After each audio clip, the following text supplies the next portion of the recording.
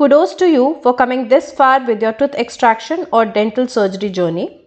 Please follow the following instructions to make the entire process uneventful. Remove the cotton gauze placed in your mouth after 30 to 45 minutes. आपके मुँह में रखी cotton को 30 से 45 minute के बाद निकाल दीजिए drink some cold water and take the prescribed medications ठंडे पानी से आपको बताई गई दवा ले लीजिए नो रिंसिंग नो स्पिटिंग कुल्ला नहीं करना, थूकना नहीं है।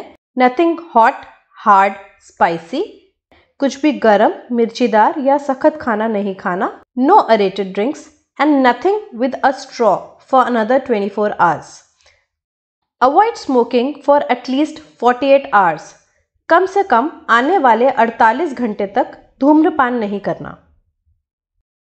ईट कोल्ड सॉफ्ट और room temperature food for at least 24 four hours, ठंडा और नरम खाना खाना है, जैसे कि खिचड़ी, दलिया, हलवा, ओट्स, खीर, दाल चावल, दही चावल।